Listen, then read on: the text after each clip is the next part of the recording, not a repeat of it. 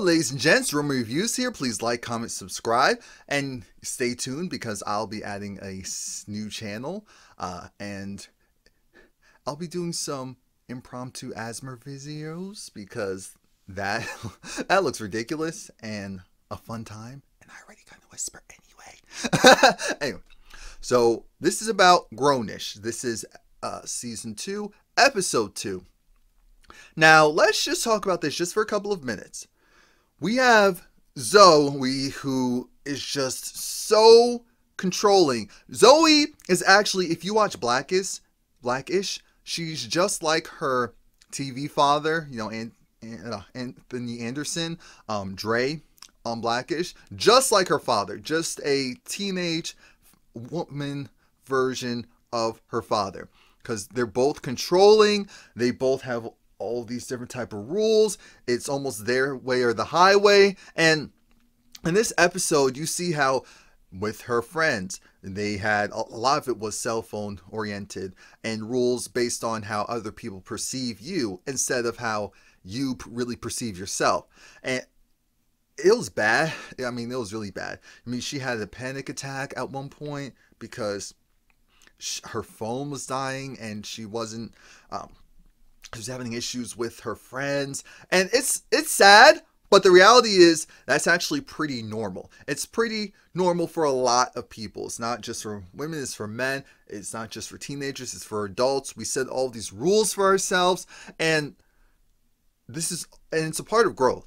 Because you see how with older people how once they get to a certain age they do and say whatever they want I'm not saying that's the way you need to live your life. I'm just saying that if we just take a little bit of that and just put towards other areas of our life, we'd be good.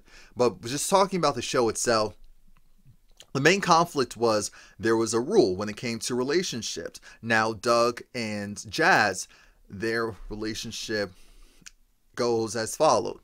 Whenever there's any type of function where I think essentially the opposite sex would be there, at the very least, you either don't go or you let the person know you're going to be there. Um, I think that's more so jazz rule. Let's just be honest.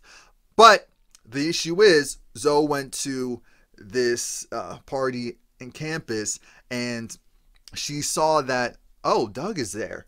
And then so she was reaching out in a separate group chat because let's be real, all of us have different group chats for different people. And so she went in the group chat that didn't have Jazz or her sister in it and told them, hey, this is what's going on. What do I do? What do I do? And they were telling her, well, he's not doing anything, so why are you so upset? And then another person was saying, yeah, but he shouldn't even put himself in that situation. And it was like, so then she was going, taking videos, just wanting advice. What do I do? What do I do? And the messed up part is that Jazz found out because she was told by, I don't remember if it was Ana or if it was the other one, told her that, hey, this is what happened, and sent her a screenshot of the conversation.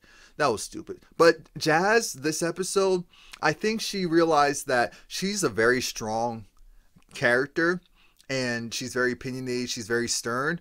And it, throughout this episode, we see that her sister doesn't have an issue. The other ladies, they come back around because Zoey realized, okay, maybe she's doing too much because she also had a rule that her phone could never die. Her friends, they all log into the same app so that you can know where they are at all times. I said, oh my God, that's too much. That's too much. Even though our phones have that in there for location anyway. A lot of people don't know that. Um, but part of the problem was that Luca, who I thought that he was going to be upset because something bad really happened. No, he was just upset because his girlfriend wasn't responding back to him when he wanted her to respond back to him. Again, that was another form of control. So when they came back together, he even told her, hey, my problem isn't with you. It's just it was a control issue of my own and I was putting it on you. Because she realized, okay, she had a panic attack, and let me just go and approach this situation differently. So Zoey apologized and said, look, we need to stop saying all these rules for each other like that, but I just want to apologize in general because I know I was doing too much. And everyone was cool by the end of the episode except for Jazz. I think the main issue with Jazz, it's not with Zoey. I think Jazz realized, oh, do these group of women actually like me or do they just tolerate me? Because you can't tell me that she was just upset just because of Zoey not telling her.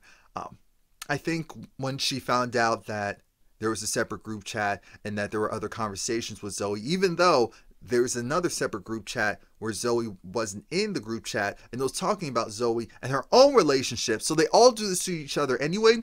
So they're all hypocrites. And so that's why everyone had to forgive Zoey except for Jazz, who, like I said, I feel like her issue is bigger than this and it's more so with the group than just her. So we'll see next episode what happens or after that. So that's it. Please like, comment, subscribe. Come back next week.